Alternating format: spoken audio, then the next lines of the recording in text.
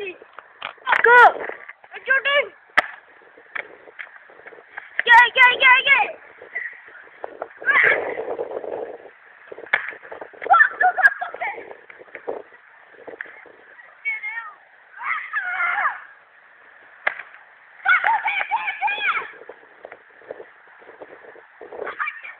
Thank you.